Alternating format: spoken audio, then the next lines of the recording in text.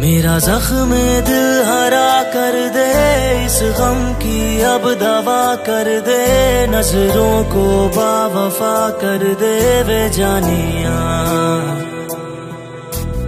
आदत है तेरी, या तेरा नशा है, कैसे बताऊँ तुझको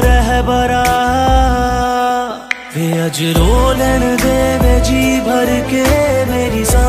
सांसों से दगा करके तू गया मुझको फना करके वे जानिया।